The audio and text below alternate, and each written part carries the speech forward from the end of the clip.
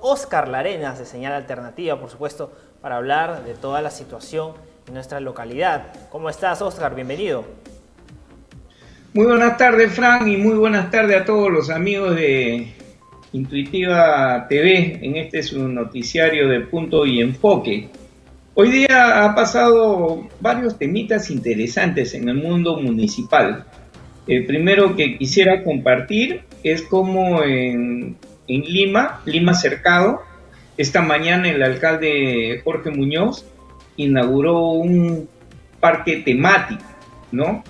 Es un parque totalmente inclusivo en el cercado de Lima. Es el parque Arias Chereiber. Este parque tiene la peculiaridad que está diseñado con un sistema de conteo Braille, juegos para personas con discapacidad motriz, estímulos sonoros y olfativos. De verdad que este parque es, es para irlo a ver, ¿ah? es para irlo a ver por todas estas eh, cualidades, eh, características que nos está explicando en su cuenta de red social el alcalde de Lima. Eh, Jorge Muñoz, Parque de los Sentidos, ya me acordé, Parque de los Sentidos, es como se identifica este parque, que ustedes pueden ver en las imágenes que se están ahí presentando, está rodeado de un verdor impresionante. Y esto hay que resaltarlo, ojalá que Lima tenga muchos parques eh, con estas características llena de verdor, todo, y al centro, que haya un espacio para la gente con discapacidad, ¿no? De verdad que es importantísimo. Después hay otro temita que ha pasado desapercibido, pero que lo veníamos tocando aquí en, en punto y enfoque de la semana pasada, el viaje del alcalde de San Martín. Todo se sabe, todo se sabe. El alcalde de San Martín viajó a la ciudad de Utah. La ciudad de Utah es donde se ubica el gran lago Salado. Es el paraíso o la capital de la iglesia mormona. Entonces, el alcalde no fue solo, fue acompañado de su secretario de despacho de alcaldía. Y esto originó una gran bataola por pues, la cantidad de dinero que ha significado este viaje, casi 34 mil soles de los dos funcionarios, tanto el alcalde como su asesor de despacho de alcaldía. Pero, pero, todas esas interrogantes que hemos tratado, bueno, ¿y a qué viajó el alcalde, no? Eh, se ha descubierto, se ha, se ha corrido el telón con una publicación del congresista Manuel Merino de Lama, donde aparece en Utah, ahí están las fotos, aparece al lado derecho de la cámara, de la pantalla, aparece el alcalde de San Martín y al costado la congresista Leslie Lazo, esposa del alcalde, ¿eh? Esposa del alcalde. Pero qué bien se vive el Estado, ¿no? Yo le aseguro que, eh, la congresista Leslie Lazo ha viajado con viáticos del Congreso, con toda seguridad. Entonces, el eh, alcalde no ha tenido eh, capacidad para explicar a qué ha viajado a Utah. Y lo que sí ha hecho el congresista Manuel Merino de Lama con absoluta transparencia. Ha viajado con el objetivo de obtener beneficios para las gestiones municipales, ¿no? Y eso hay que resaltarlo. Ahí también aparece en la fotografía el alcalde de Ate Evitarte, quien también se sumó a esta delegación, eh, que ha sido promovida a todas luces, como se ve, por el alcalde, o perdón, por el congresista Manuel Merino de Lama. Bueno, ya está aclarado la cosa, el alcalde viajó con su esposa, su esposa con los gastos pagados seguramente por el Congreso, y él viajó con gastos pagados por la municipalidad.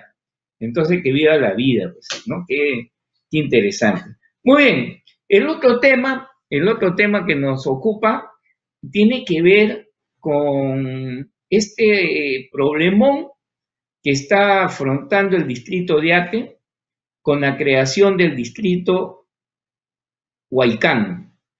Este distrito Huaycán eh, ha sido generado por una ley en el Congreso de la, eh, de la República. Pero, pero, algo Facho Dede, quien es arquitecto urbanístico, ha puesto los puntos sobre las IES y dice que los recursos para los distritos, tomen nota, los recursos para los distritos no se multiplican con la creación de nuevos distritos, menos de provincias.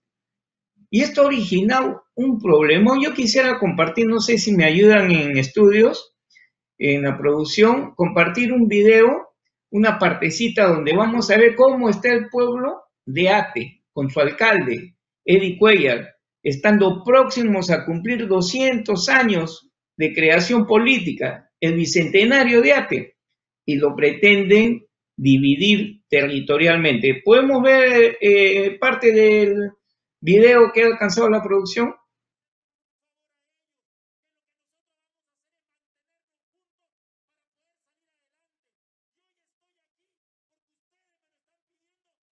defender nuestro distrito. Justicia,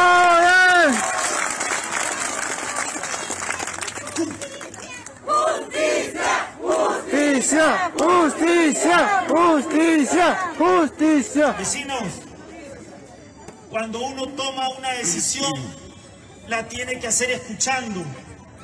Este informe, este proyecto de ley que data del 2015, tenía un informe de la PCM que establecía que se haga una encuesta tanto en Pariachi, en Gloria y también en el Úculo, en Villahermosa, para ver a dónde querían pertenecer.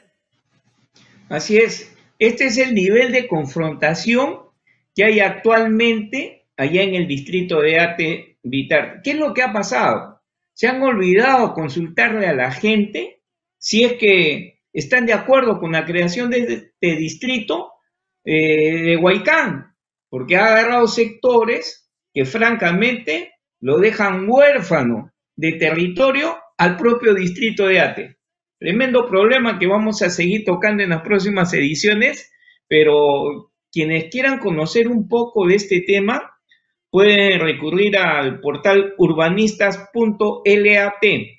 Ahí van a encontrar también cómo es que eh, se establece que Lima debería tener, es una propuesta, cinco eh, jurisdicciones, Lima Sur, Lima Norte, Lima Este, Lima Centro.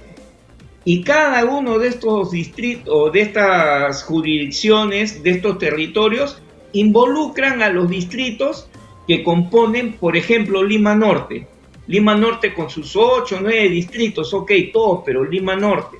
¿Y saben cuál es el, el tema de esto? que esto va a apuntar a una reforma electoral. Lima hoy día tiene 34 escaños y de esos 34 escaños hay muy pocos representantes de las Limas emergentes. Entonces es necesario revisar de verdad este tema que genera la creación de distritos que francamente lo único que provocan es eso, la reacción la protesta de los, de los propios pobladores. Muy bien, hasta aquí la información. un abrazo a la distancia, mi querido Fran, y un abrazo a eh, todos los televidentes. ¿Dónde se encuentra ubicado el Parque de los Sentidos, para ser más exactos, en el cercado de Lima, pero por qué parte nos puedes hacer esas aclaraciones, Oscar? Eh, área Chereivira está en la avenida Arequipa. Correcto, correcto. En la tercera, cuarta cuadra de la avenida Arequipa, frente a lo que es Radio Nacional. Así es. Gracias por esas aclaraciones, Oscar. Y contamos contigo, por supuesto, el día de mañana para hablar más de estos temas fundamentales, sobre todo revisar cómo se está realizando la aplicación pues, del eh, proyecto para convertir a Huaycán en un distrito. Estamos interesados y la, y la ciudadanía también está interesada en saber más de este tema. El día de mañana también vamos a estar hablando. Nos vemos, Oscar. Un abrazo a la distancia. Permiso. Y hasta aquí hemos llegado con el bloque municipal. Continuemos.